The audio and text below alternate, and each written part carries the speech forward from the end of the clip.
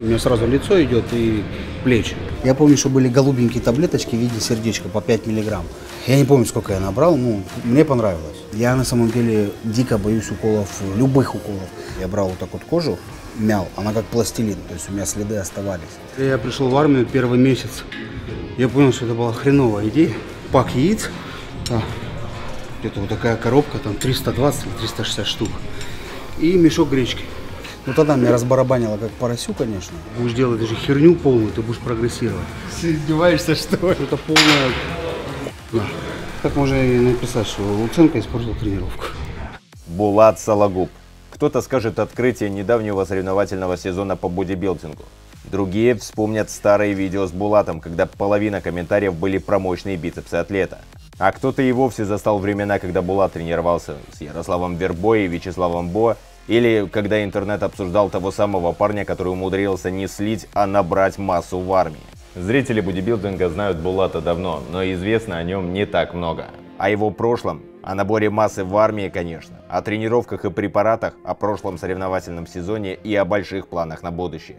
В общем, тот самый выпуск, который стоит посмотреть полностью, поделиться им и после написать в комментариях, насколько крутая форма у Булата. Что в зале, что на улице, особенно летом, Булат, герой этого выпуска, понятное дело, что в центре внимания. Ну, еще бы, с такими руками. Но вне зависимости от того, успели вы набрать форму к этому лету или, как я, нет, э, в новинках от Всемайки вы всегда в порядке. Если вы постоянно смотрите мой канал, то знаете, что все майки мой постоянный партнер. И это очередной комплект, который я подобрал уже на лето. Как летит время, только зимний собирал. Шорты прочный, но достаточно легкий материал, они широкие, удобные, собственно, чего от них хотеть. Мне кажется, идеальный вариант для отдыха, особенно на море, да. Я море не помню, когда в последний раз видел и в ближайшее время точно не увижу. Я брал себе шорты для пробежек. Но вообще, никто не поспорит, хороших шорт много не бывает. Футболка, принт э, специально подбирал, мне понравился э, мем из интернета, очень подходит под мое настроение в последнее время. Да, все круто. Но вообще принт-то непростой, он светящийся. Этой футболке достаточно немного побыть на дневном свете, вобрать в себя его энергию, да, и уже вечером, ночью вы будете самым заметным и стильным на районе. Ну, до тех пор, пока ваш сосед тоже не оформит заказ на все майки. Но и это не проблема, потому что на сайте подобных светящихся принтов больше сотни вариантов. Выделяться будете точно. Ну и по классике ткани футболки, правда, очень приятно. И принт э, специально пару раз э, постирали на деликатном режиме. Э, картинка сохранилась, все так же светится, все работает. Ну и, наконец, э, Панама. Вообще не особо моя тема, но решил попробовать по случаю лета. Долго выбирал принт. Дочке три года, ей нравится. Панда кунг-фу. И вот она Панаму с таким принтом у меня на голове точно оценит. А это самое главное. Оценит и, как показывает практика, отожмет. Отжали у меня уже эту Панаму, так что не повторяйте мои ошибки, заказывайте сразу несколько. Ну и как всегда я напомню, что на сайте все майки огромный выбор разной одежды с тысячами различных принтов. Самые разнообразные тематики от кино и авто до игр и опять же мемов. В чем плюс? Можно подобрать целый комплект одежды в одном стиле. Можно взять одну броскую вещь, да, чтобы выделяться. А можно в принципе взять базовые вещи без принтов. Потому что классическая однотонная футболка, она нужна всем и всегда. Почему тогда я ее еще не заказал? В общем, друзья, переходите на сайт или по QR-коду, или по ссылке в описании. И э, не забудьте мой промокод на скидку 10%. Я вам гарантирую, это приятный бонус при любой покупке, тем более, что он суммируется со всеми акциями на сайте. В общем, все майки плюс лето – это комбо, которое мы с вами заслужили. Как и многие из вас, до этой съемки лично с Булатом я не пересекался. Но в плане формы я знал, чего ждать. Еще весной запасался кадрами с его выступления. Вот и разберемся по порядку, как он пришел к такой форме. И заодно определимся, как к нему все-таки обращаться. Булат или Юрий. Я родом со Ставрополя, в Дагестане просто я достаточно долгое время провел. С того времени пошло прозвище Булат. Все-таки Юрий или Булат? Вообще Юрий, а Булат то такой навес. Оно для слуха более звучное, думаю. Потому что я думаю, ты ж меня тоже запомнил как Булата, а не как Юру. А вообще Юра по паспорту. И для жены. Ну, скажем, на соревнования как ты э, хочешь, чтобы тебя представляли? Э, Мне более звучно, чтобы Булат представляли, потому что, как тебе правильно сказать, знаешь, это как никнейм. Так запоминают лучше. А в обычной жизни? А в обычной С жизни близкими? Юра. Юра. Ну, меня так только жена называет. Что все остальные думают, что меня Булат зовут. Короче, если в комментариях тебе будут писать, что ты красавец, пусть пишут было. Да. Да. Могут просто красавицы написать. Я Я, я не против. Я начинал с греко-римской, а потом перешел э, дзюдо было, после дзюдо самбо. Я мастер спорта по самбо, по пауэрлифтингу тоже. В 16 лет я пришел в тренажерный зал, я совмещал пауэрлифтинг и борьбу до 19 лет. До 19 лет, до 18, когда я колено травмировал, потом я закончил. Я думаю, ты со мной согласишься, что спорт в первую очередь это дисциплина. И вот когда она с детства прививается, тренировками, все остальное, это в дальнейшем помогает. Во всех сферах, не только в, в бодибилдинге, не только в, там, в спортзале, в спорте, а во всех сферах, которые применяются и к работе, и к семейной жизни, и так далее, и тому подобное. Примеры той самой дисциплины замечаю и по ходу тренировки. Ты по таймеру занимаешься, я тебе ответ, а ты поэтому его не включил. А, ну, видишь, все. Как можно и написать, что Луценко испортил тренировку. Ты педанты в том числе в таких вот мелочах, как время перерыва, да? Ну, я стараюсь, да. И в плане питания я просыпаюсь в одно и то же время, каждый раз кушаю в одно и то же время. Спать ложишься, встаешь в одно и то же время, кушаешь, отдыхаешь и так далее и тому подобное. Мне просто так психологически, морально легче. Потому что я когда выбиваюсь из такого графика, мне на психологическом уровне кажется, что я где-то не дорабатываю, это у меня забирает какой-то результат. Ну, у каждого свои моменты. Я, знаешь, э, я вот в детстве настолько упертый был, вот то, что мы с тобой сейчас занимались, ты говоришь, что там следишь за временем, еще за что-то, мы с тобой моменты обсудили, но начиная с 16 лет, когда я занимался в тренажерном зале, я был не то, что, знаешь, дисциплинированный, я был до такой степени фанатичный, я в течение двух лет просыпался в одно и то же время, вот без преувеличения, в одно и то же время, я кушал одну и ту же еду, я за два года ну, там, пару раз сожрал что-то лишнего, у меня доходило до того, что если хотел что-то скушать вкусное, знаешь, там дома что готовили, я это жевал, а потом выплевывал. То есть меня застегивало по самое не хочу. То есть если взять какие-то те моменты из прошлого, когда мне было там 16-18, и перенести их сейчас, ну, я бы, в принципе, физически, даже, не то что физически, я психологически бы не смог этого сделать. Там просыпаться в 6 утра, идти вместо института, я шел в тренажерный зал на работу, когда был в Пятигорске, и так далее и тому подобное. То есть ну, в тот момент я был, знаешь, максимально вот фанатичен, я болел этим, этим спортом. Я учился в торгово-экономическом на финансы и кредит. Вообще-то мог бы получиться будущий финансист, очень хороший. Где-нибудь в банке бы меня встретил. Но меня отчислили со второго курса, потому что я уехал туда на соревнования в Москву. Э, Соревнования перенесли, а я здесь остался. И начал работать в тренажерном зале, тренироваться. Через полгода я вернулся в Пятигорск, свой город, забрал стипендию за полгода. И все. И дальше меня точно отчислили. Карьера экономиста провалилась. А так бы я сидел в банке, представь бы. Говорил, какую вам карту оформить? Давайте кредит.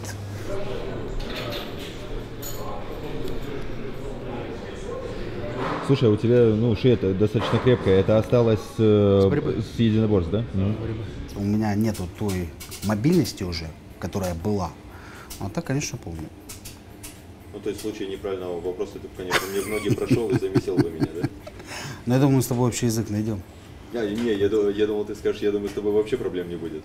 Я думал, ты так скажешь. Ну, сейчас в последнее время я еще начал упражнения делать. Подкачиваешь, да? Ты считаешь, что у бодибилдера не должно быть вот этого вот, э, знаешь, контраста? Многие говорят, а, бодибилдеры странно выглядят, потому что тонкая шея, допустим, и э, широкие плечи там массивные, и Ну, смотрятся знаешь- нелепо. А, кто-то говорит наоборот, да нет, так лучше смотрятся пропорции, все дела. Ну, не знаю, как по мне, это смотрится убого, потому что, вот, грубо говоря, как ты говоришь, много вот ребят с классной формой, широкие плечи, спина, все остальное, но тонкая шея. Яркий представитель этого э, Михаил этот, Э, Крижанов? Крыжаник. Ну, честно, я его как атлета уважаю, он классный, крутой, все остальное. У него шея как у гуся. Ну, честно, ты когда смотришь фотографии, ну, вытянутая шея, тут и огромные плечища, руки, ну, честно, ну, как по мне, мне не нравится, как оно выглядит. Мне вот, грубо говоря, нравится, который тоже в Elite Pro выступает, Рубель Наскера. У М, него да, Нексила когда- есть. это из Бразилии, который... Да, да, да, да. Ну там Ты шея, видел? там шея чуть ли не шире плеч. Ну, Я там утрирую, и шея, но да. там да, и да, ножище, и да, все да. остальное. Но оно, как, по мне, оно, знаешь, смотрится более гармонично. У меня, в принципе, ее, ну, она не длинная, поэтому ее можно не качать. У меня сразу лицо идет и плечи. Если бы мне давали выбирать либо такая, либо такая фигура, я делал бы предпочтение, где развиты мышцы шеи тоже. И все. Слушай, у тебя ключица еще была травмирована, да? Поломано. Поломана, как Да. так вышло? Меня на ковре воткнули плечом в ковер на соревнованиях, и она пополам треснула. Это как раз тот промежуток времени был, когда меня еще и колено я травмировал. Я переквалифицировался с пауэрлифтинга на жим лежа. Э, С борьбой я завязал, в принципе. И потом плавно-плавно с жима лежа. Ну, когда я занимался жимом лежа, я уже больше тренировался по специфике бодибилдинга. А на соревнованиях первый раз я выступил в семнадцатом году. У меня первый турнир был через 6 недель. И так сложилось, что тот сезон, который я откатал, я выиграл все. В 18 лет это был метан, метансола, да? Да, это был метан, даже помню. Я помню, что были голубенькие таблеточки в виде сердечка по 5 миллиграмм. Я прежде чем у меня появились эти таблетки, я на месяца три ходил, доставал всех ребят в спортзале старших, которые занимались. У нас на то время было два мужика, которые билдингом занимались, выступали. Я их каждый день трепал, что, как, почему, как, вычитывал какие-то статьи, что-то искал. И спустя три месяца, когда, как мне казалось, я был уже информационно подкован, я начал там что-то принимать. Я помню, это курс был, я ел по 5 миллиграмм метана 4 недели. Я не помню, сколько я набрал, ну, мне понравилось. Перерыв был короткий, недели 4, и второй курс у меня был уже СУСТ, дека и метан. Ну, тогда меня разбарабанило как поросю, конечно. И препараты были такие сомнительные, что после каждой инъекции у меня место инъекции было очень крупных размеров. Но это меня не останавливало. Потому что, я же тебе говорю, на то время до такой степени фанатичный был. Потому что касаемо, опять же, тех каких-то препаратов, качество было сомнительное, выбор был небольшой. И я помню, когда я на самом деле дико боюсь уколов, э, вот просто, меня до трясучки, любых уколов, но больше всего в задницу. Вот мне, чтобы поставить укол, даже если мне плохо, чтобы мне антибиотики поставили, это я, я помирать должен. И из-за этого я как-то пришел к локальным инъекциям, что я там начал куда-то в плечи тулить, в руки. И я помню, что у меня был суст, и он был, честно говоря, хреновый, потому что после каждой инъекции у меня было дикое воспаление, что вплоть до того, что я ставил в руки, я брал вот так вот кожу, мял, она как пластилин, то есть у меня следы оставались. Но когда там через 2-3 дня нужно было сделать следующую инъекцию, я тулил туда же. У меня дико было больно руки там разгибать, разминать их, но меня это не останавливало, я спокойно тренировался, делал все и так далее и тому подобное. Потому что сейчас бы, я говорю, если бы мне была такая ситуация, ну, как минимум бы это закончилось э, побоями с дилером. Я бы не стал такого делать. А ну, на то время я настолько застегнутый был, настолько фанатичный. Вот я хотел, я горел этим, я жил этим, что мне было все равно, что делать, как делать. Вот, если мне бы сказали, вот нужно это, это, это, я бы без раздумий делал. Когда я уже постарше стал, появились мысли о том, что чтобы играть в долгосрочную, надо заботиться о своем здоровье. Тогда я уже начал там где-то перерыв делать, тут перерыв. Но все ребята, которые выступают профессионально, либо которые хотя бы имеют э, соревновательную карьеру, они знают, что если ты полностью слазишь и делаешь полностью ПКТ, чтобы вернуть то, что было, это ну, минимум полгода, год назад ты откатываешь. Просто нет смысла. Конечно, потому что когда, если ты у тебя цели какой э, на спортивную карьеру, на про-сцену, как у меня, то есть в этом нету смысла. Потому что если я это сделаю, я потеряю год времени. И то есть догнать ребят других, на это уже будет тяжело. Потому что то, что написано в журналах и знаю, в интернете, это, конечно, все круто и классно, но э, очень часто бывает так, что профессиональный спорт, это он далек от понятия здорового образа жизни начиная от физических нагрузок, заканчивая всей остальной поддержкой. И порой приходится чем-то жертвовать ради результата. Если, как ты сказал, ты хочешь играть в долгую, э, твое здоровье – это залог твоей вот этой долгой игры.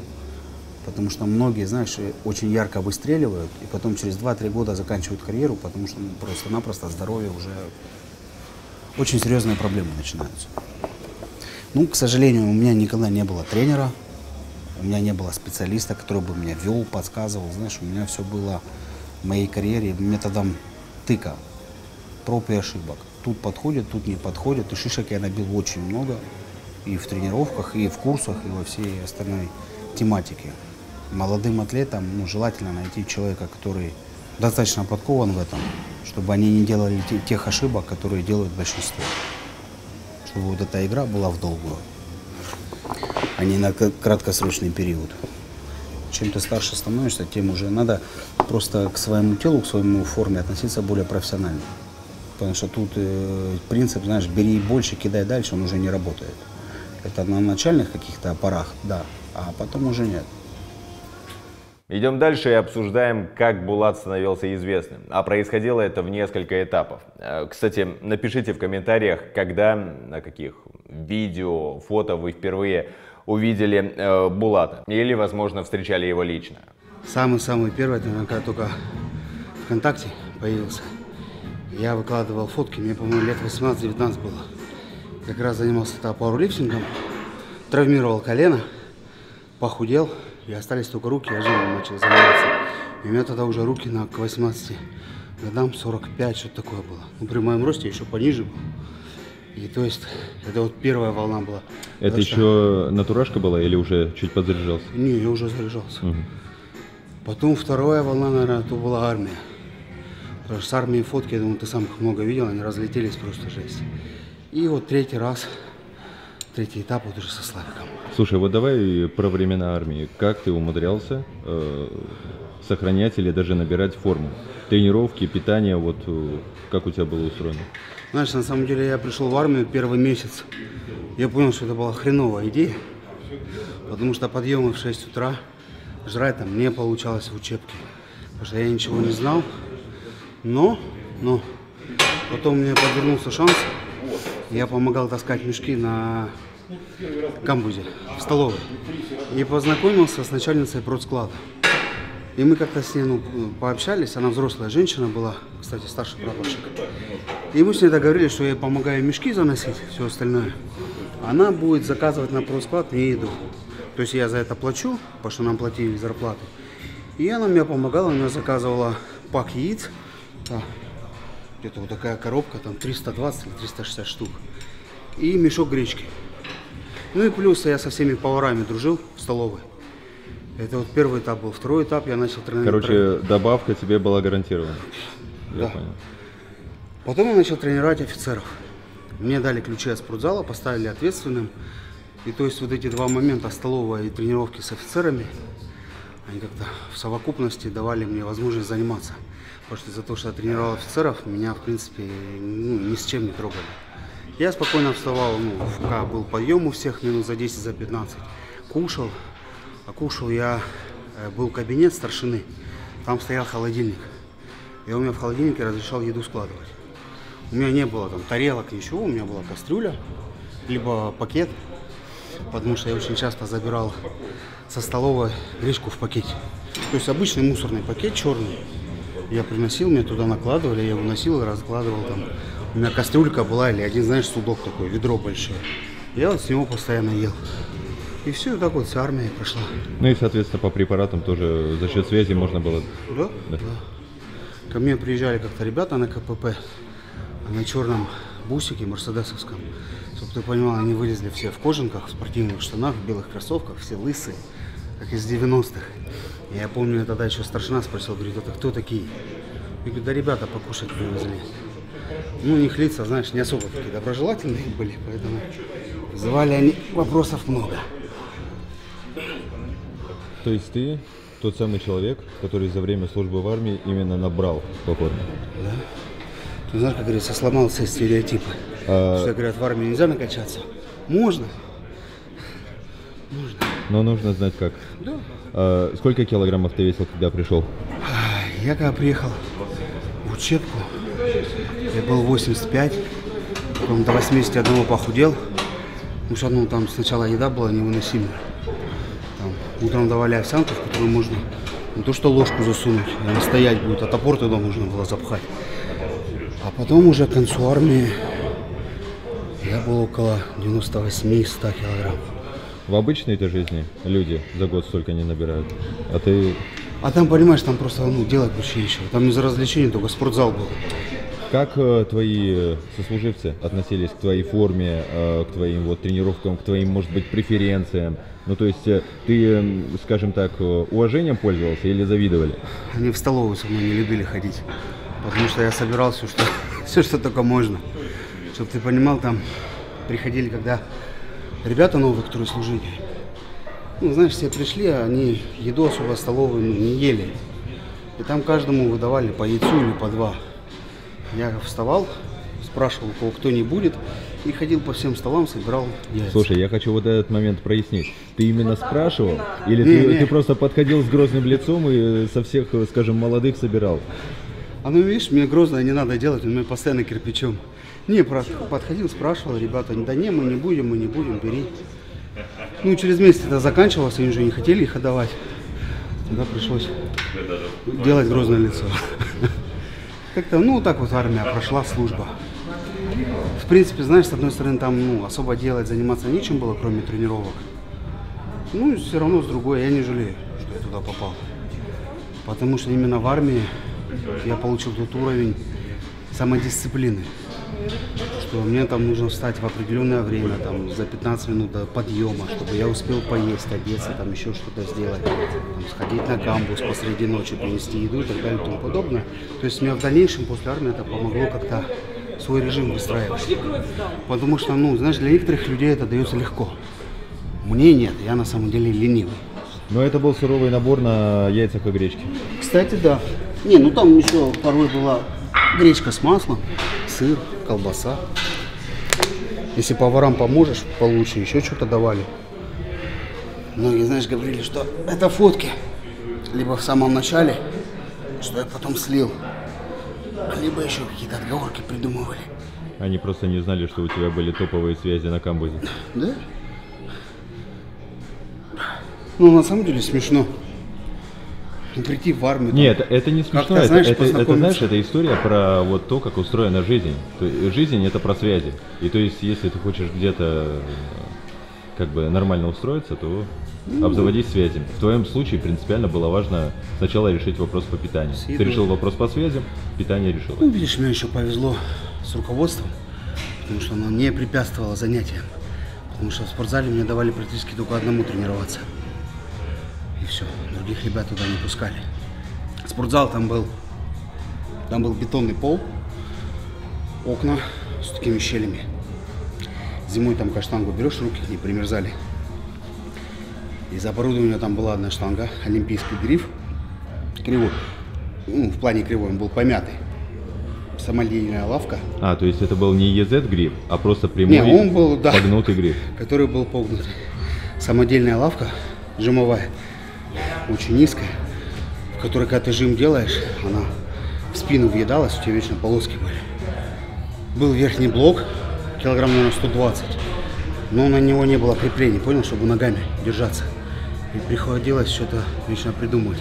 И были стойки для приседа. Ну, они знаешь, как выглядели? Типа рогатки. Просто такие две железки, на которые ставишь штангу, и она туда проваливается. Поэтому вот что-что, в армии ноги я не качал. Вот, а вот слово совсем.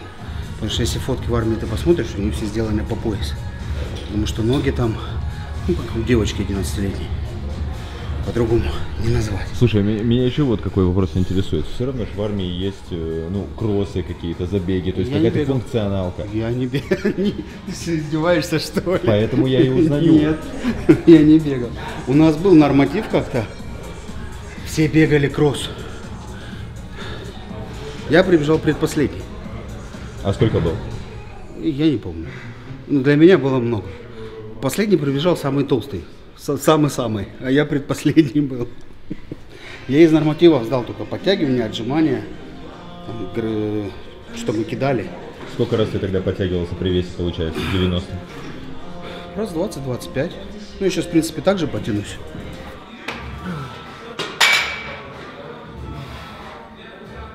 Следующая волна популярности пришлась на тренировки с э, Ярославом Вербой, Вячеславом Бой и Кириллом Худаевым. Этап жизни в Харькове. Честно тебе скажу, это даже если сказать, что это хорошее было время, это ничего не сказать. Это было замечательно. Это, короче, логово Булата. На самом деле со Слайком мы познакомились, когда я еще был в армии. Мы с ним познакомились ВКонтакте. Я его песни слушал, когда тренировался. А потом, я не знаю, как- то ли он мне написал, то ли я его где-то нашел. Я узнал, что он озвучивал «Плюшевую бороду», что он треки пишет. И мы с ним общались достаточно плотно. И после армии он меня какой-то промежуток времени звал к себе, говорит, приезжай, там видосики, влоги снимем, еще что-то, еще что-то. Моя поездка туда, то вообще отдельная история. Я туда всеми правдами и неправдами попал.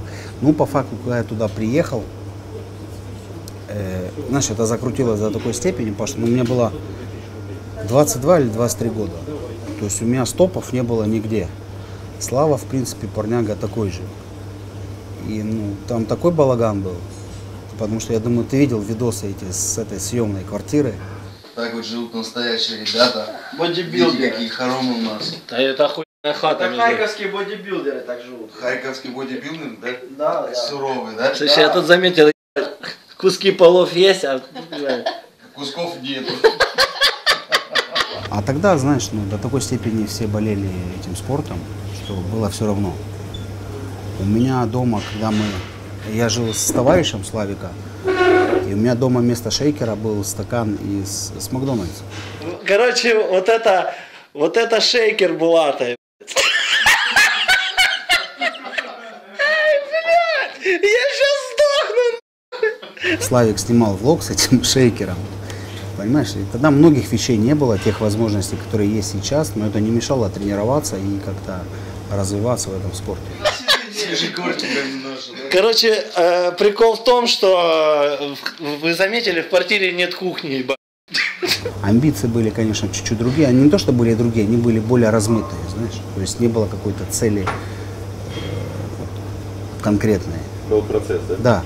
То есть сам процесс от этого получали удовольствие, это уже когда ты взрослеешь, появляются более узконаправленные цели, что я хочу вот это, это в такой-то, такой-то промежуток времени. Но тогда не было ни тех условий, что есть сейчас, ни возможностей, ни знакомств. И по большей части, знаешь, было на это на все наплевать. Но мы занимались любимым делом. Славик снимал свои угарные видосы, я не знаю, писал свои порой дурные треки. И все это так кайфовали. Вот просто именно кайфовали, получали удовольствие. И Ярик, и мы жили вместе, я, Славик, Ярик. То вообще отдельная тема. Ну, мы очень быстро разъехались, спустя пару недель. Но все равно это было круто. Это был пистолет, детка.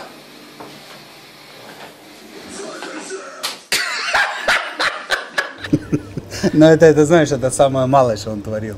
У него есть, в принципе, архив э, личный, что если, в принципе, знаешь, он его ближе к старости опубликует, я думаю, он нормально на этом подымет. Знаешь, мне кажется, что это вот примерно знак равенства Арнольд, его вот этими архивами качая железа, которые не опубликованы. И Слава со Да не, я думаю, Слава его переплюнет на раз-два. Потому что, если говорю, если опубликовать то, что есть у Славы, все эти мероприятия, которые проводились и во время тренировок, и после, он многих переплюнет. И просмотров там будет намного больше, чем э, на видосах спортивной тематики. Братик, покажи бицепс, пожалуйста. Ты это на видео снимаешь. А что?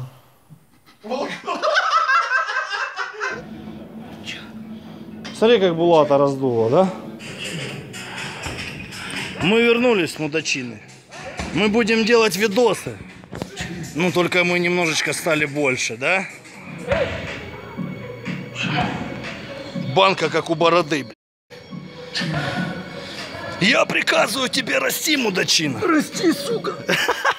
Сами видите, уже тогда у Булата доминировали руки. И, понятное дело, мы должны были обсудить их подробнее. Это сегодня для экономии времени суперсетная история? Или это, в принципе, Не, я тебя? всегда занимаюсь. Всегда, да? Да. упражнения делаю таким образом. Ну, только на руки. Все остальные мышечные группы так не качаю. Как у тебя там с весом, грубо говоря, 90, руки там за 53 сантиметра. А вот так вот. Понимаешь? Поэтому. А обхват, да, давай у тебя проясним, какой? Сейчас 53 с копейками в межсезонье. При росте? Метр шестьдесят пять. Или 63. То есть, смотря как Ну, то есть все относительно, но при твоем росте это совершенно по-другому смотрится. Да, ну потому что, ну, 53 это не такие большие руки, потому что, ну, у многих ребят, которые профессионально занимаются, у тяжей, ну, сам прекрасно видел, там за 55 и поехали дальше. Просто из-за самой формы мышц, ну и плюс рост дает свой. Поэтому, мне кажется, такой объемный, особенно на фотографиях, на видео. У тебя динамика в размерах э, рук за последние годы есть? Или вот как они у тебя до определенного вот объема выросли, так ты их и Не, они потихонечку больше и больше, но просто э, если по фотографиям смотреть, у меня руки всегда, грубо говоря, так, выбивались, потому что остальные мышечные группы отставали. Вот, я о том же Да. хотел сказать, что как будто И бы раньше поэтому- они выделялись еще больше, потому что все остальное чуть меньше. Поэтому, если в прогрессии смотреть за время, кажется, что руки, грубо говоря, одного и того же размера остались. Торс потихонечку. Ну, на самом деле, я весь крупнее становлюсь. Опять же, ты же сам прекрасно знаешь, что вес ну, в бодибилдинге это не самое главное. Как сказал один наш общий знакомый с тобой, что бодибилдинг это иллюзия. Что можно с весом, как на СПС у меня было, 86 килограмм. Я стоял в линейке с ребятами, ну, Меньше всего, ну, парень весил на 14 на 15 килограмм больше меня. Это Саша Мартынкин. Все остальные ребята, они еще тяжелее, на 20, на 25 килограмм. Если линейку посмотреть, с учетом того, что я минус 20 килограмм от их веса, я не особо выбивался с линейки. Вот, вот и вес. У всех разные программы тренировок. Есть там какие-то топовые тренера, которые советуют, что нужно делать столько, столько-то, столько-то. Такой отдых, промежуток там между мышечными группами. Если взять мою программу тренировок, ну, большинство этих гуру скажут, что это полная хуйня. Потому что, ну, то, как я тренируюсь, у меня бывает по 5, по 6 упражнений на мышечную группу. Там от 10 до 20 повторов. Если покажи вот большинству тренеров такую программу тренировок, они скажут, нет, ты на таком не спрогрессируешь.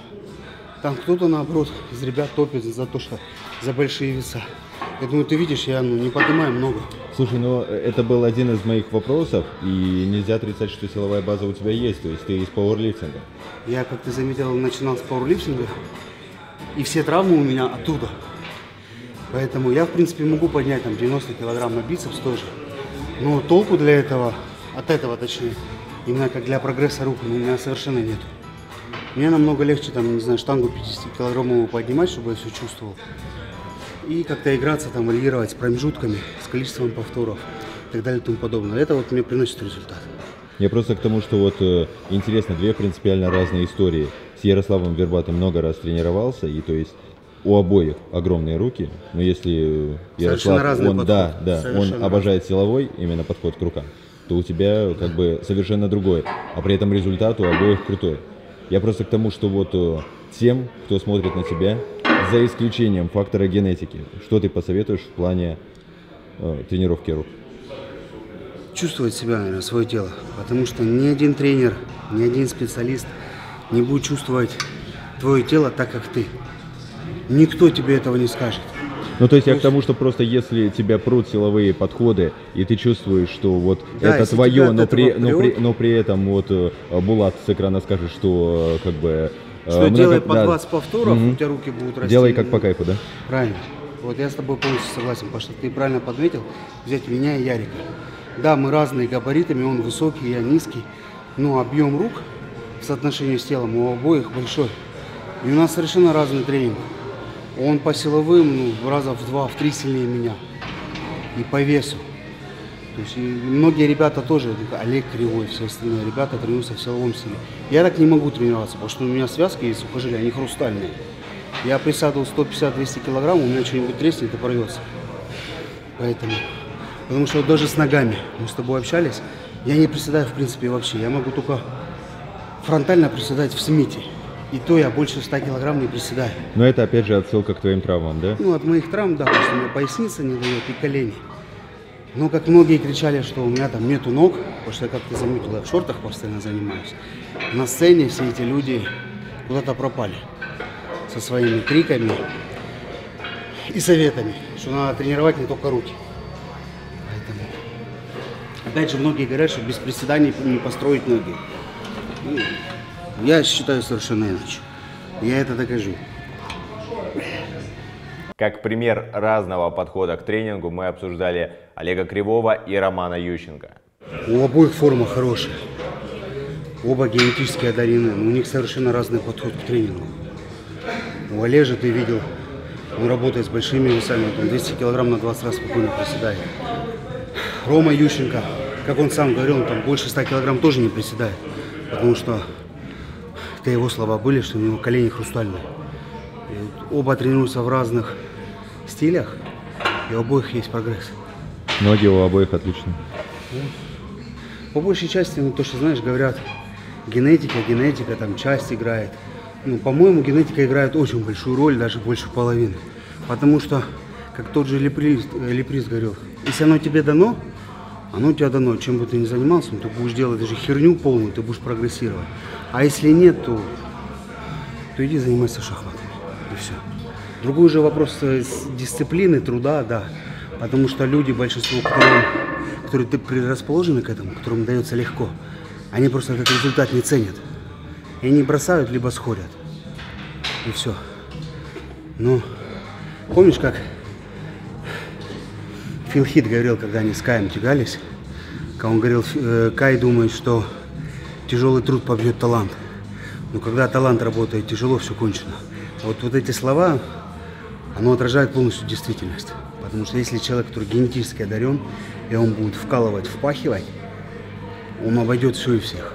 И не поможет никакая не тяжелая работа, не само- самодисциплина просто такого чемпиона. Он просто тебя обойдет, потому что ему от природы это дано. И тут с этим ты ничего не сделаешь.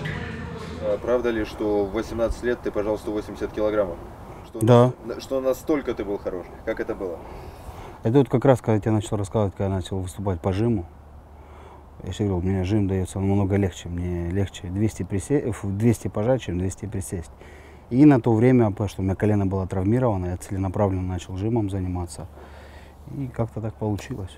Я уже тогда начал форму приобретать похожую на бодибилдера, но из, из формы бодибилдера были только руки. Поэтому было и такое дело. Но это уже в прошлом, потому что ну, такой вес я уже не жал. Я говорю, лет пять. Я даже не пробовал и даже не Я знаю, что физически мне силы хватит на это, но я не хочу, потому что в самый ненужный момент где-то что-то треснет, оторвется и так далее и тому подобное.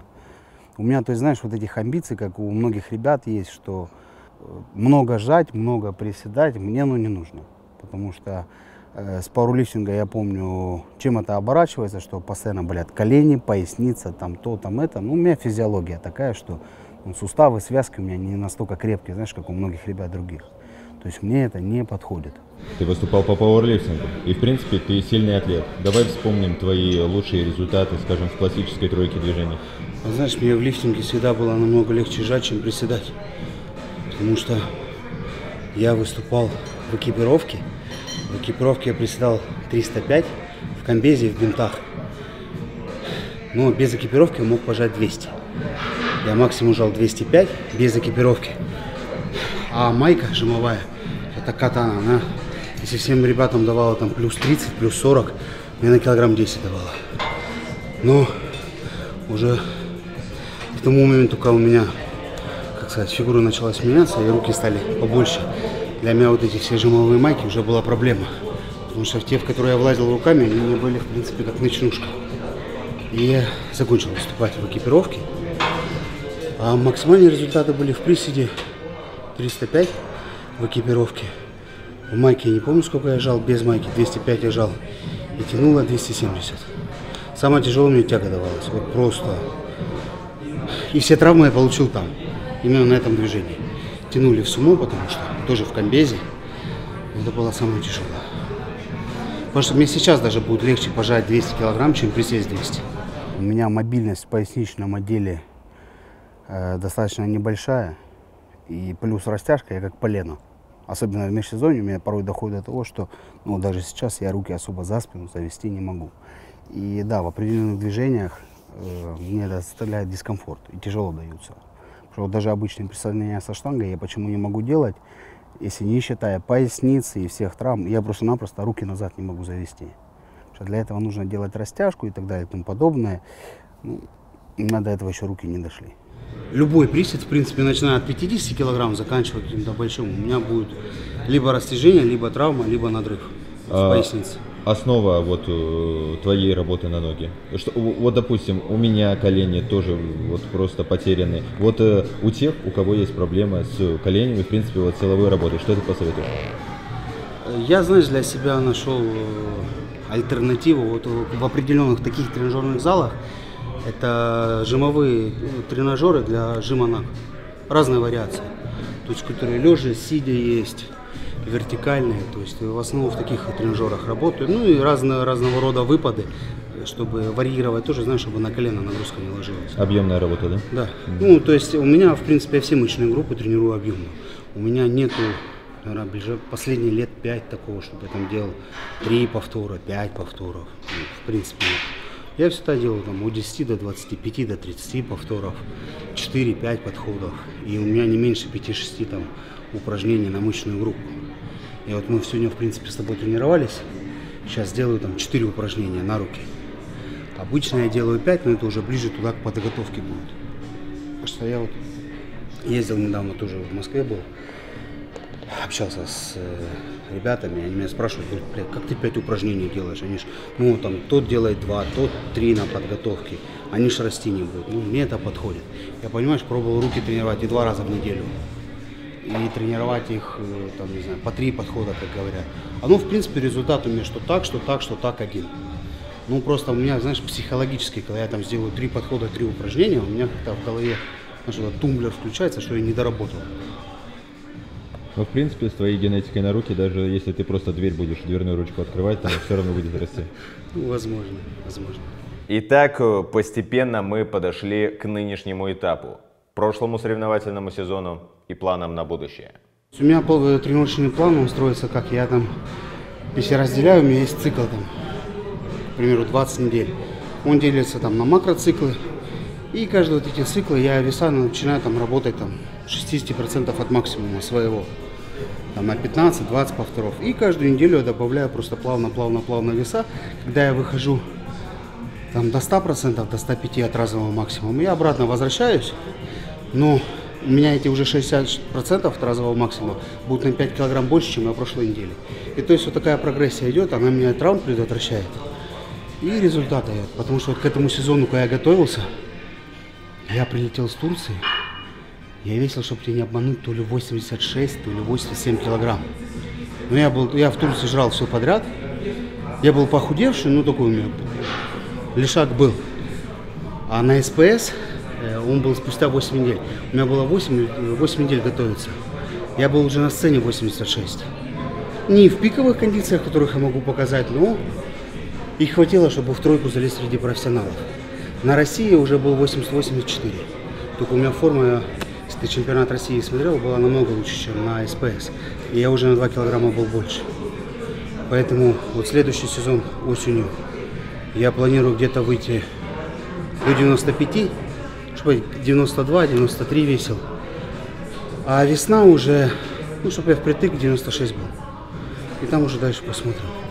Я не надеюсь на один какой-то турнир. То есть я понимаю, что, скорее всего, мне нужна будет пара турниров, по которым мне надо будет покататься. Это вот, будучи получив про-карту, что надо будет на один, на второй, на третий съездить, чтобы хотя бы в тройку залезть. Потому что ну, уровень на топовых турнирах европейских ты, я думаю, сам видел какой. Потому что там э, ну, нету такого, как здесь было на сцене. Там ребята тоже все невысокого роста, и там э, округлыми мышцами ты никого не удивишь, там у всех такие. Перед сезоном моя самая главная составляющая была это не кубки и медали. Я знал, что я залезу в топ. Не то, что я такой самоуверенный, просто я знаю, на что способен мой организм. Но самая моя главная цель была это медийное внимание. Потому что сейчас бодибилдинг, он тесно связан э, с медийкой. И чтобы, грубо говоря, зарабатывать, помимо хорошей формы, классных кондиций, тебе нужна медийная составляющая. То есть э, сначала выступив на СПС, ту медийную составляющую, то внимание я получил. Плюс это все подогрело расстановка мест. То есть, что мне там говорят, вот тебя поставили третьим, ты должен был быть лучше. Меня это, знаешь, честно, нисколько не расстроило. Меня касаемо СПС расстроил только один момент, то, что я хотел миллион, а не 350 тысяч. И все. Потому что даже с учетом расстановки таких мест я получил то, что я хотел. И на России расстановка мест была такая же в абсолютке, но этот бум, весь этот пик, он уже, знаешь, вылился в нечто большее, в симпатию людей ко мне, зрителей, и недовольство грубо говоря, к судейскому решению. Я судейские решения никогда, знаешь, не обсуждал, потому что у меня политика в этом плане такая, что нужно делать форму на 2 на 3 головы лучше, чем у соперников, чтобы, э, как говорят, у судей не было возможности засудить. И все, и тогда вопросов никаких не будет. Но в плане медийной составляющей это дало, дало свои плоды, потому что после России я заключил пару контрактов, в том числе есть определенные договоренности с брендом Dropit, я могу сказать, что в плане порядочности, в плане человеческих отношений, э, в плане отношений деловых, э, этот человек очень классный, очень крутой и профессионал своего дела.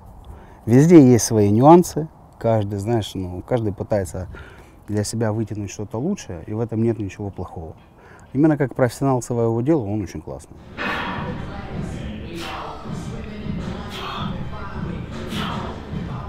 Ну, знаешь, кто бы что ни говорил, э, все атлеты, все хотят, пьедестал это что, самая высшая точка, это Олимпия.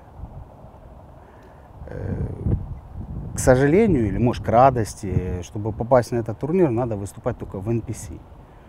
Потому что, я же говорю, у меня, опять же, ну, очень амбициозные планы, и они рассчитаны не на год, не на два, не на пять, не на, не на десять. Я хочу совместить профессиональную карьеру и сделать все так, чтобы эта карьера приносила заработок. Я знаю, как это сделать, и благо так сложились обстоятельства, там, не знаю, жизнь одарила меня там, генетикой, называй это как хочешь. То есть все вот эти составляющие совместить, и в принципе я смогу осуществить свой план.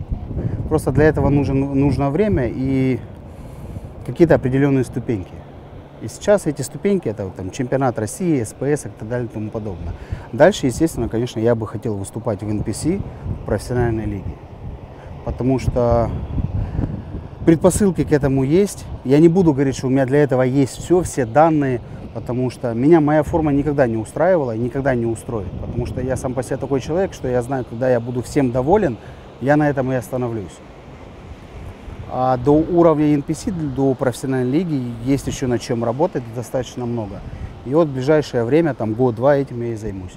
О перспективах Булатов Про высказался и Александр Федоров. Еще несколько месяцев назад в качестве комментатора он был не согласен с судьями и отдавал титул абсолютного чемпиона Кубка страны именно Булату. Но Сологуб тогда стал только третьим. колоссальный потенциал. Парню надо... Мы с ним... Он был здесь на тренировке, мы с ним тренировались, у него колоссальные перспективы. А, Просто недос- недостатками, немножко побольше пластичности, харизмы на сцене, я думаю, у него большое будущее.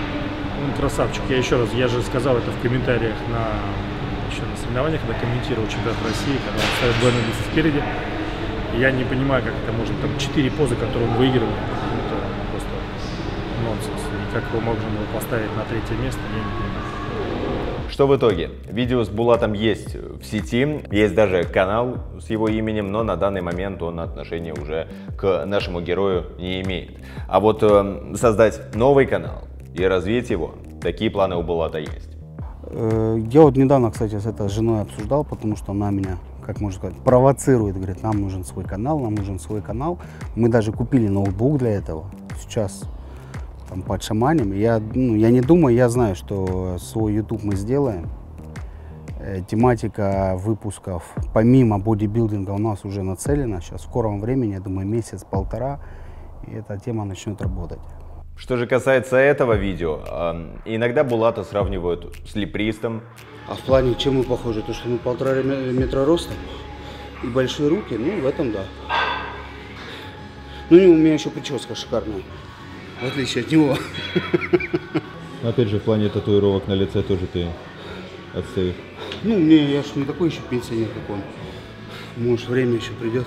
Иногда встречал и такие комментарии, мол, Стэтхэм, который подкачался, но большинство просто знают его как э, обладателя отличной формы и феноменальных рук. Теперь вы знаете историю этого атлета, по крайней мере, фрагменты его истории. Так что э, поделитесь в комментариях, все-таки у нас колоритный герой, да. Э, напишите в комментариях, что вы думаете о его форме и его перспективах про. Ну и, конечно, обратную связь э, вы можете оставить Булату не только под этим видео, но и в его профиле. Ссылку на него я оставлю э, в описании. Поделитесь этим видео, э, поддержите его, если вам нравится такой формат. Подписывайтесь на канал и, как всегда, спасибо, что смотрите.